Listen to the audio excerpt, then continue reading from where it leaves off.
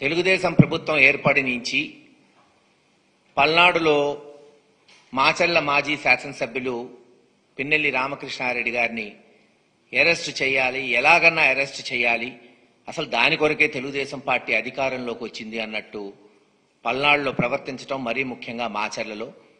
ఎట్టకేలకు నిన్న రాత్రి తెలుగుదేశం ప్రభుత్వం లేదు వాళ్ళ ప్రభుత్వానికి సంబంధించిన పోలీసులు అరెస్ట్ చేయటం అరెస్ట్ చేసిన తర్వాత కూడా ఒక సీనియర్ లీడర్ రామకృష్ణారెడ్డి గారు పోలీస్ ఆధీనంలో ఉంటే కస్టడీలో ఉంటే ప్రొటెక్షన్ ఇవ్వాల్సిన బాధ్యత పోలీసుల మీద ఉంటుంది. కానీ మాచర్ల పోతుంటే అక్కడ దాడి చేయడానికి కూడా ప్రయత్నించి. అందరం చూస్తున్నాం.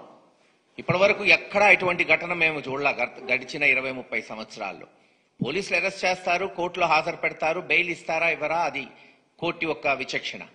కానీ పోయే ముందు అక్కడ తెలుగుదేశం నాయకులు రావటం హేళన చేయటం దాడి చేయడానికి ప్రయత్నించటం చివరికి రామకృష్ణారెడ్డి గుద్దాడని దాని మీద మళ్ళీ రాతలు రాయిపీయటం ఇది ఎంతవరకు సమంజసమో ఈరోజు ఆంధ్ర రాష్ట్ర ప్రజలనే కోరుకుంటున్నాం.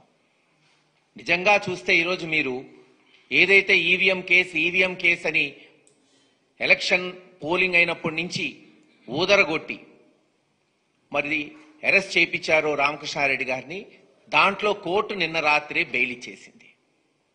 ఎస్ బెయిల్ ఆయన హక్కు కాబట్టి వెంటనే రావటం జరిగింది. కానీ ఏదైతే అక్రమ కేసులు ఉన్నాయో కారంపూడిలో సిఐ మీద ఒత్తిడి తెచ్చి బుక్ చేసిన కేసు కావచ్చు లేదు మరొక నాయకుడు పాల్వాయి గేట్లో తెలుగుదేశం నాయకుడు బుక్ చేసిన కేసుల్లోనే ఈరోజు కక్షపూరితంగా రామకృష్ణారెడ్డి గారిని జైల్లో పెట్టడం జరిగింది.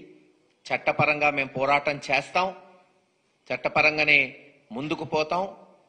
తప్పకుండా మా నాయకుడు మళ్ళీ బయటకు వస్తాడు.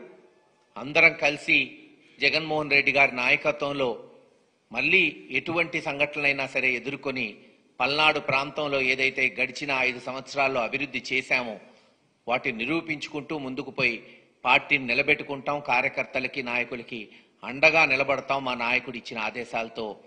తెలియచేస్తున్నాం. అలాగే గడిచిన వారం రోజుల నుంచి మనం చూస్తున్నాం.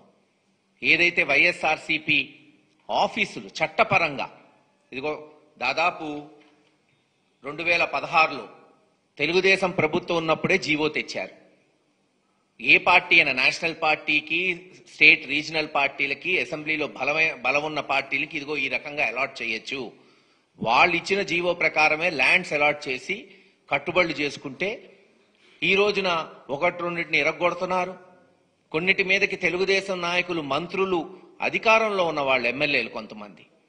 వైఎస్ఆర్సీపీ ఆఫీసులోకి వచ్చి వాళ్ళు ఇష్టం వచ్చినట్టు ప్రెస్ మీట్లు పెట్టడం ఇది ఎంతవరకు సమంజసం? ఒక కొత్త సాంప్రదాయానికి మీరు తెరలేపుతున్నారు. ఈరోజు మాకు జరిగింది రేపు మీకు జరగచ్చు. ఎవరి ఆఫీసు వాళ్ళకు ఉంటుంది ఎస్ మేము చట్టపరంగా అలాట్ చేశామా లేదా? దాన్ని చూడండి. ఓకే మీకు మీకేమైనా అభ్యంతరాలు ఉంటే మీరు లేవనెత్తండి. ప్రభుత్వంలో మీరున్నారు తెలుగుదేశం నాయకులు ఉన్నారు ఈరోజు తెలుగుదేశం ప్రభుత్వం ఉంది. మా అలాట్మెంట్ కరెక్టా కాదా చట్టపరంగా చేశామా లేదా లేవనెత్తండి. మేము అన్నిటికీ సమాధానం చెప్పడానికి రెడీగా ఉన్నాం. అంతేగాని తెలుగుదేశం నాయకులు వచ్చి మా ఆఫీసుల్లో ప్రెస్ మీట్లు పెట్టడం ఆఫీసులు ఆక్రమించుకుంటామని స్టేట్మెంట్లు ఇవ్వటం ఎటు దారి తీసిద్దో మీకే వదిలేస్తున్నాం. ఎదురుదాడి రాజకీయాలు ఎవరికీ మంచిది కాదు ప్రజాస్వామ్యంలో. చట్టపరంగా మేము చేశామా లేదా మీరు చూసుకోండి. రూల్ ప్రకారమే అన్ని జీవోలు క్యాబినెట్లో పాస్ అయిన తర్వాతనే వైఎస్ఆర్సీపీకి ల్యాండ్ అలాట్మెంట్ జరిగింది. ఆఫీసులు కట్టుబడి చేస్తున్నామని తెలియచేస్తున్నాం.